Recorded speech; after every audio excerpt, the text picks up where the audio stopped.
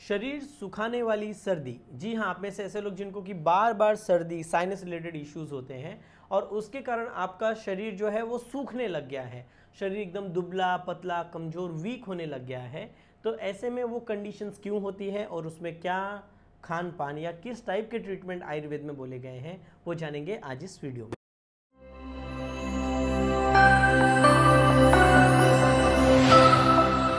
स्वागत है आप सभी का मिश्र वेदा में और आज का टॉपिक है कि शरीर सुखाने वाली सर्दी या फिर सर्दी और शरीर का सूखना।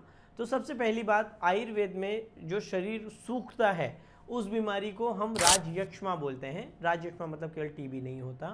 तो राजयक्षमा या फिर शरीर सूखने की जो रोग है, उसके अलग 11 टाइप के जो सिम्टम्स है, वो बोले गए हैं। तो उसमें हर अलग अलग सिम्टम्स के लिए अलग अलग कारण और चिकित्सा बोली गई है, जिसमें कि सबसे पहला लक्षण बोला है पीनस पीनस मतलब आप में से ऐसे लोग जिनको बार बार सर्दी की तकलीफ़ होती है। अब कई बार ऐसे हो सकता है कि एक नॉर्मल सर्दी हुई है, आपको दो तीन दिन आपने दवा ली, ठीक हो गई। बट आप में से ऐसे लोग जिनको बहुत लंबे समय से सर्दी बनी हुई है और उस सर्दी के कारण पाँच, आठ, दस साल, पंद्रह साल, बीस साल धीरे धीरे आपका शरीर सूखने लग गया है, वीक होने लग गया है, कमज़ोर होने लग गया है, तब ऐसी कंडीशन में क्या करें, वो हम जानेंगे।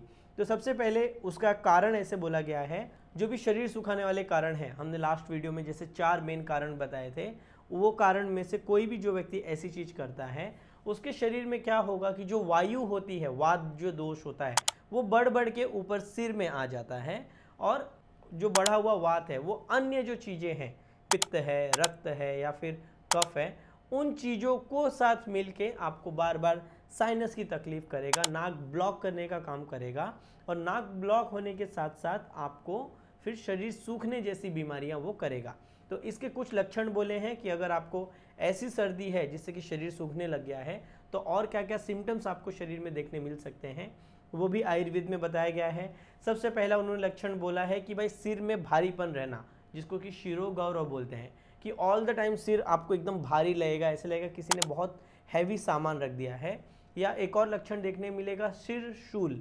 मतलब सिर में ऑल द टाइम पेन होते रहेगा, दर्द होते रहेगा, सुई चुभने जैसा पेन या कोई हथौड़े से मार रहा है तो ऑल द टाइम माइग्रेन जैसे इश्यूज़ जिनको होता है कि सर्दी भी हो रही है, सिर दर्द भी हो रहा है और बॉडी सूख रही है तो वो राज यक्षमा के कारण होने वाला सर्दी और सूखापन होगा। एक विशेष लक्षण उन्होंने बोला है, घ्राण विप्लव। घ्राण विप्लव वर्ड का मतलब होता है कि जिनको स्मेल बिल्कुल भी नहीं आती, जिनको एकदम थोड़ा सा भी जो स्मेल है पता ही नहीं चलता। ऐसे लोग जो बोलते हैं कि भाई हमारी नाक बंद है और पिछले पाँच पाँच, दस दस, पंद्रह पंद्रह साल से नाक बंद है, कुछ भी स्मेल नहीं आती है।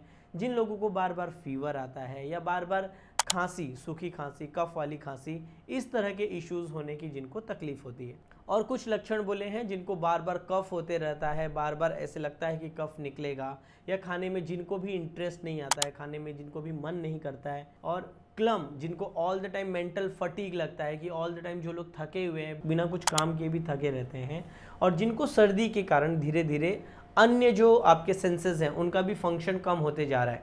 मतलब आँखों का नंबर आ गया, कान से कम सुनाई देने लग गया है साइनस की तकलीफ़ तो आई मुँह से टेस्ट भी नहीं आता, और धीरे धीरे टच के सेंसेशन भी फील नहीं होते।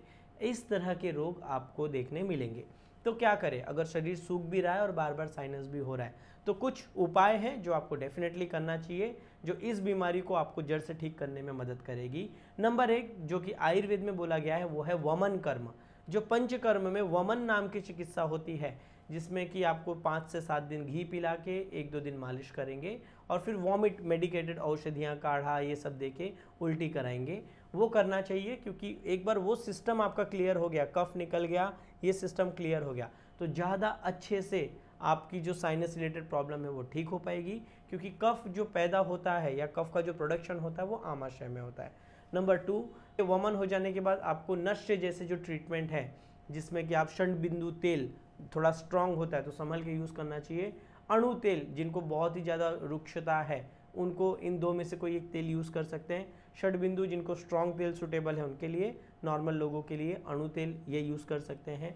खान पान में आप कुछ चीज़ें कर सकते हैं, जैसे कि कुलत्थ होती है, जिसको हॉर्स ग्राम बोलते हैं, कई बार कुलथी बोलते हैं, उसका सूप बनाकर आप पीने के लिए यूज़ कर सकते हैं कि कुलत्थ की दाल आपने 20 ग्राम ले ली और पानी ले लिया, आधा लीटर उबाल कर हाफ़ किया, उसमें काली मिर्च सूंठ, पिपली जिसको कि त्रिकटू बोलते हैं, वो दो चुटकी डाला, थोड़ा सा अनार के जो दाने हैं, वो डालकर आप पीने के लिए यूज़ कर सकते हैं। वो फ़ायदेमंद रहेगा, आप दिन में ये वाला सूप दो से तीन, चार बार भी ले सकते हो। पीने के लिए पूरे दिन में सादा पानी पीने से अच्छा है कि धनिया और सौंठ, उसका पानी आपके लिए बहुत फ़ायदेमंद रहेगा। तो पाँच ग्राम धनिया का पाउडर, पाँच ग्राम सौंठ का पाउडर, एक लीटर पानी में डालकर उबाल कर हाफ़ कर लो। दिन में थोड़ा थोड़ा सिप सिप करके जब जब प्यास लगे, ये लीजिए। ये आपकी भूख खोलने में मदद करेगा नरिशमेंट करेगा और जो सर्दी हुई है या साइनस बार बार हो रहा है, उसे ठीक करने में मदद करेगा। आयुर्वेदिक मेडिसिन में जो शीतोपलादी जैसी जो औषधियाँ हैं, जो कि शरीर का सूखापन भी कम करती हैं और साइनस पे काम करती हैं, वो आप दो दो चुटकी करके हर एक एक घंटे में ले सकते हो, आठ से दस बार दिन में फ़ायदेमंद रहेगी। रात में सोते समय स्वर्ण वसंत मालती जैसी जो दवाइयाँ हैं, जो कि साइनस और सूखापन दोनों पे काम करती हैं, वो आप ले सकते हो एक एक गोली रात में सोते समय।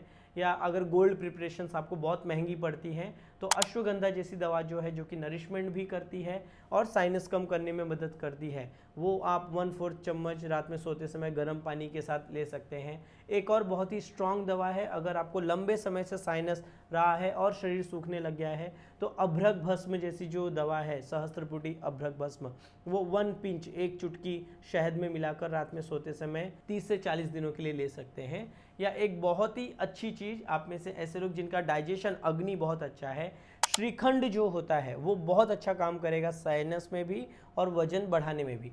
आप बोलोगे, श्रीखंड वो तो और सर्दी बढ़ा देगा। वो वमन कराकर अगर आप श्रीखंड यूज़ करेंगे तो आपको बहुत अच्छा फ़ायदा करेगा। मैंने यूट्यूब पे इस पर ऑलरेडी वीडियो डाला है कि श्रीखंड जो आयुर्वेदिक तरीके का जिसको हम रसाला बोलते हैं, श्रीखंड, आयुर्वेदिक तरीके से अगर आप बनाकर लेते हो तो साइनस रिलेटेड प्रॉब्लम्स में बहुत अच्छा काम करता है।